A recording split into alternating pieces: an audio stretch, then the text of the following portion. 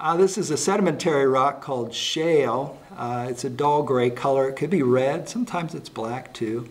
Uh, some of the key characteristics is you can see some really thin layering in it as we come around here. Uh, so that gives me a hint that it's a sedimentary rock. It feels soft uh, to my hands because the material in it is really fine grained. Uh, and it's also soft. I could probably scratch it with my knife and it powders a little bit.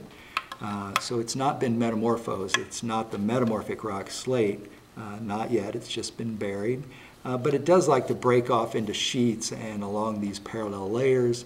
Uh, sometimes that's called fissility, uh, but it's a characteristic of shale. And so this is a very fine-grained sedimentary clastic rock.